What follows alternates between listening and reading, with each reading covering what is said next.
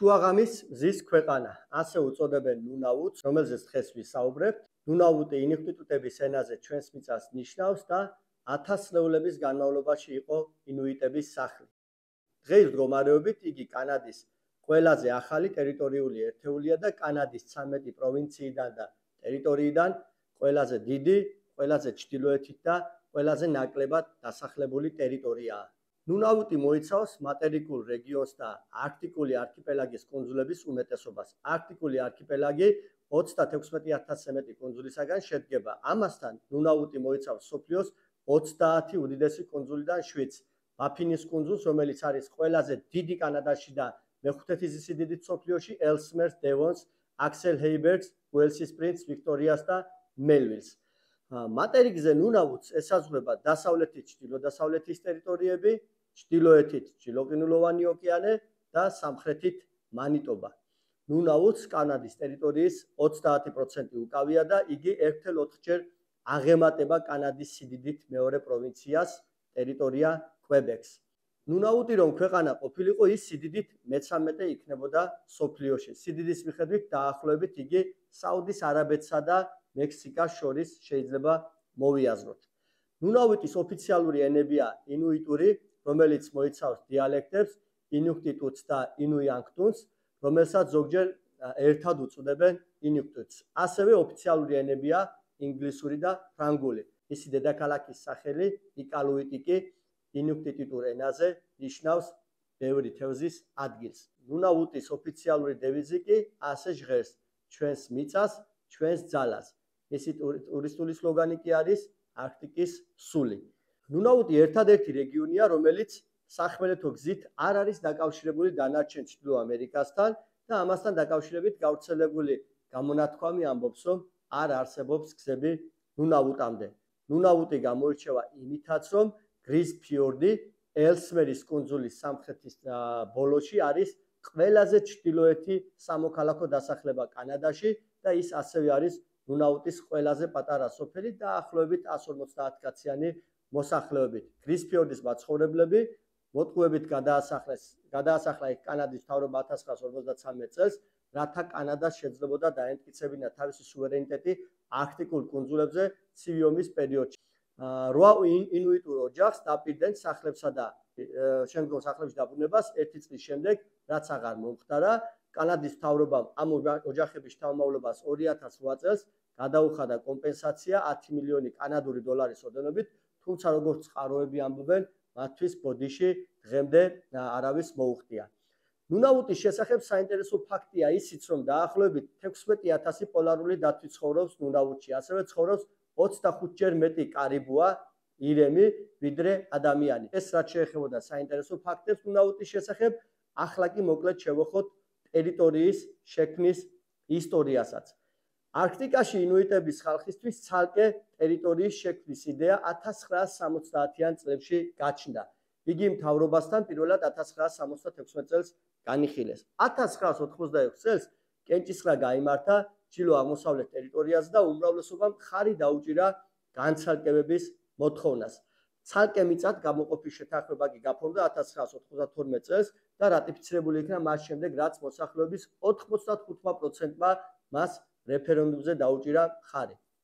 ნუნაუტის საზღვრები დადგინდა და შესაბამისი ხელშეკრულება გაფორმდა 1993 წელს, ხოლო იკალუიტი არჩეული იქნა მომავალ დედაქალაქად 1995 წელს. 1993 წლის 1 აპრილს კი ძალად შესული ნუნაუტის აქტი იყო ყველაზე დიდი მიწის გამოყოფის მოთხოვნა კანადის ისტორიაში და ერთ-ერთი უდიდესი სოფლიოში. 2021 წლის კანადის აღწერით ნუნაუტის მოსახლეობა შეადგენს დაახლოებით 40000 კაცს, რომელიც ძირითადად ინუიტებისაგან შედგება.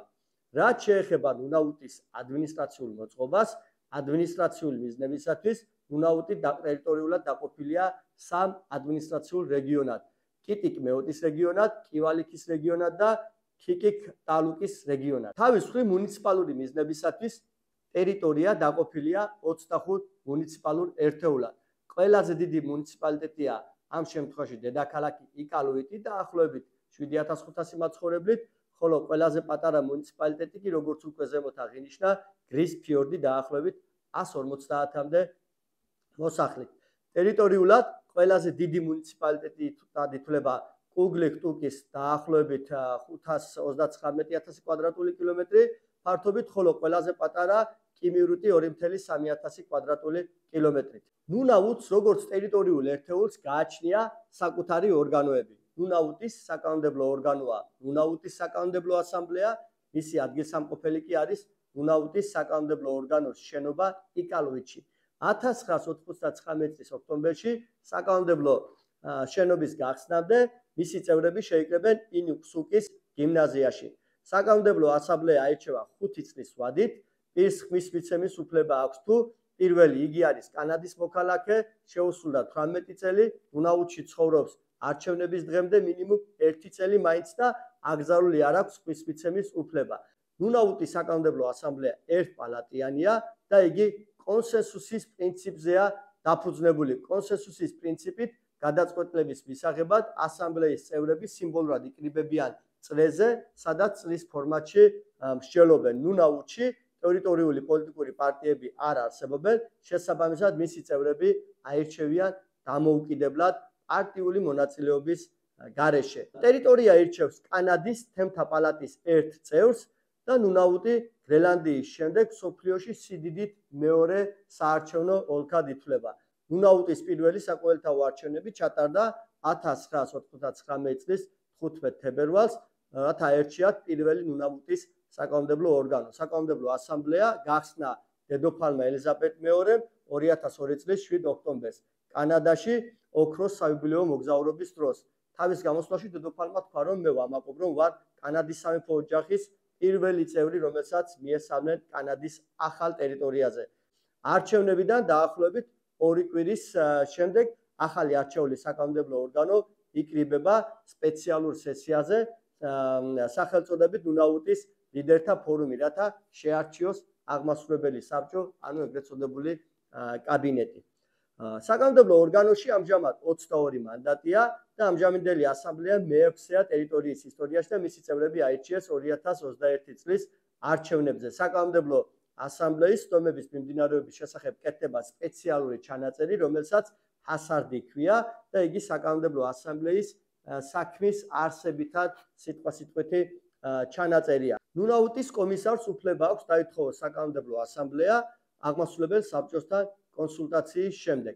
საკანონმდებლო ასამბლეა შედგება შემდეგი კომიტეტებისაგან: საკანონმდებლო საკითხთა მუდმივმოქმედი კომიტეტი, თავრობის ოპერაციებისა და საჯარო ანგარიშგების ზედამხედველობის მუდმივი კომიტეტი, სოციალური კეთილდღეობის მუდმივი კომიტეტი, თემისა და ეკონომიკური განვითარების მუდმივი კომიტეტი.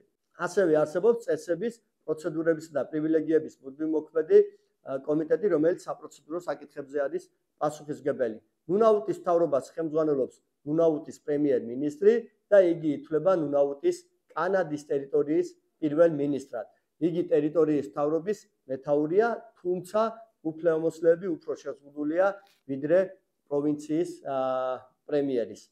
სხვა პრემიერებისაგან განსხვავებით, რომლებიც ოფიციალურად ინიშნებიან ლეიტენანტ გუბერნატორის ან კომისრის მიერ, საკანონმდებლო ორგანოში უმრავლესობის ბლოკის ხელმძღვანელობის გამო ნუნაუტის პრემიერს და კაბინეტს პირდაპირ ირჩევენ ნუნაუტის საკანონმდებლო ასამბლეის უპარტიო წევრები.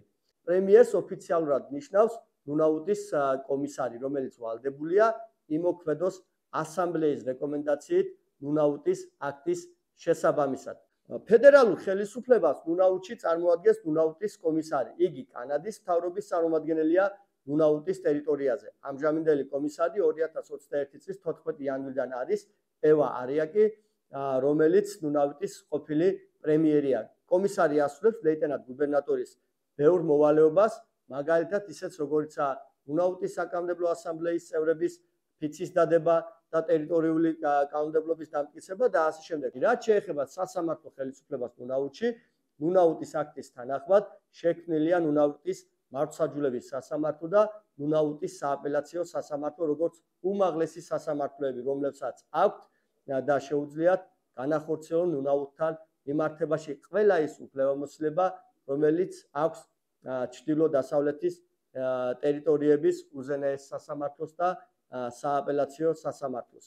მოსამართლეებს ნიშნავს გუბერნატორი როგორც წესი უვადოთ, თუ თუმცა ნუნაუტის აქტის თანახმად გუბერნატორი ასევე უფლებამოსილია გადააკეთოს მოსამართლე 75 წლის ასაკის მიღწევის გამო. ასე გამოიყურება მსოფლიოს ერთ-ერთი ყველაზე საინტერესო ტერიტორიული ერთეული დღეს კი გემშვიდობებით მომავალ შეხვედრამდე